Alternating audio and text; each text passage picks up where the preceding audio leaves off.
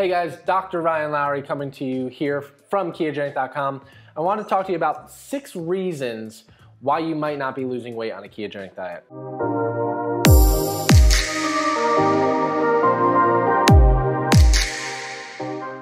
And so the first one's pretty simple. Uh, we often use the term weight and people get hung up on weight, but the thing is the scale doesn't measure progress. Because if you think about it, you can be gaining muscle and losing fat mass at the same time.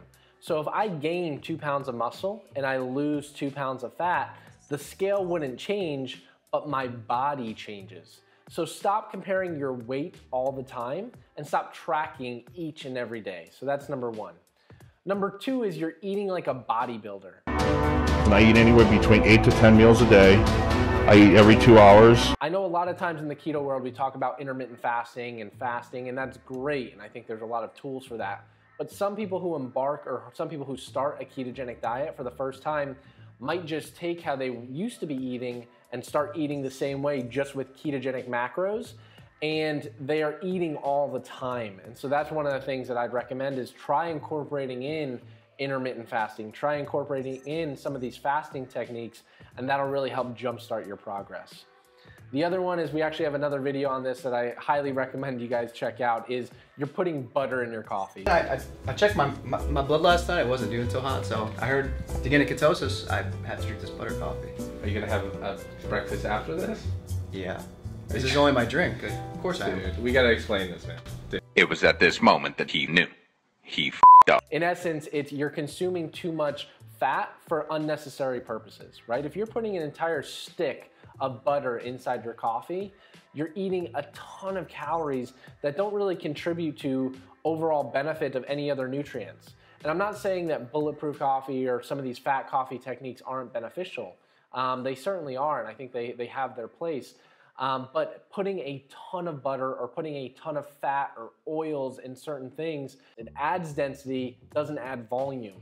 And so you're eating a lot of calories, but that might not make you completely full by doing so. So just make sure you keep it in context and don't have a ton of butter or oils or things all at one time. The fourth one is you're not moving enough. And a ton of people can get benefits of a ketogenic diet by just eating a ketogenic diet. That's been shown and a lot of people have reported that.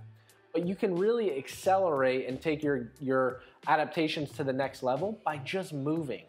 And of course, if you want to incorporate in resistance training or high intensity interval training, that's great. That's ideal. But even just going on a 10 minute walk after each and every meal can make the world of a difference because not only can it lower blood glucose levels, but over time, research has shown that even walking may increase the transporters that are needed to take up and utilize ketones. So it can certainly help with that process. The fifth one is that you're simply just not in ketosis.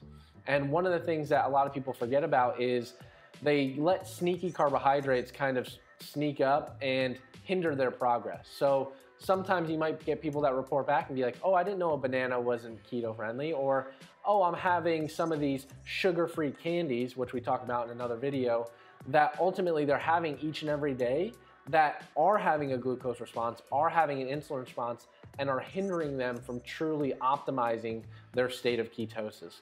So just make sure you're monitoring that occasionally.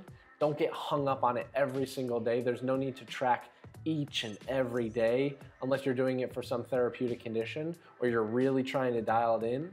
But otherwise, just make sure you're monitoring it and saying, all right, well, I understand that these foods may trigger a little bit of glucose or insulin response and these may not. Um, so just make sure you're keeping that in context. And the last one is that you're stressed.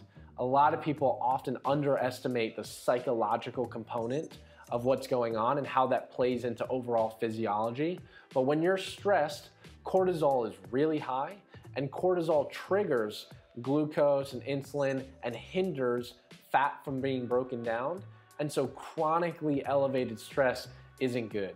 So do some type of meditation, do some type of journaling, go outside, get in nature, decrease that stress, and I promise you'll start seeing some of these benefits and start seeing some of these gains. So I hope those six tips and some of those six techniques can really help jumpstart your progress or prevent you from stalling out or not seeing any progress on a ketogenic diet.